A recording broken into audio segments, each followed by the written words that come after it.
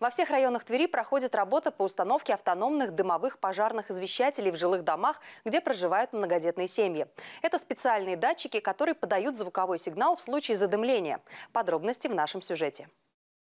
Спасатели и специалисты социально-реабилитационного центра проходят инструктаж и делятся на четыре мобильные группы. Сегодня им предстоит проехать порядка 20 адресов во всех районах Твери, где проживают многодетные семьи. Одна из групп работает в центральном районе. Это квартира семьи Лютиковых. Здесь с родителями проживает трое детей.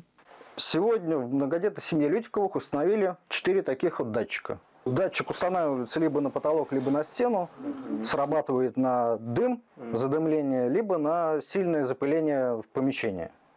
Такая система очень удобна в случае опасности. Прибор подает сигнал тревоги. Это является одним из самых эффективных средств предупреждения пожара. Мама троих детей Наталья Лютикова говорит, с таким датчиком в доме спокойнее.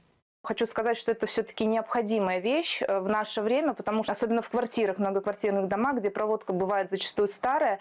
Поэтому я надеюсь, что, конечно же, нам это не понадобится. Да? Будем стараться соблюдать все инструкции.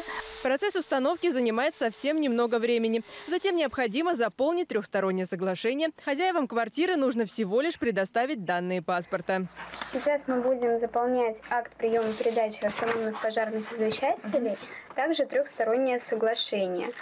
Также мы даем вам памятку угу, о том, спасибо. как нужно взаимодействовать с этими пожарными извещателями. Для многодетных семей пожарные датчики устанавливаются абсолютно бесплатно. Для подачи заявления достаточно связаться с областным социально-реабилитационным центром для несовершеннолетних на улице Склескова, 48 или позвонить по телефону 78 21 59.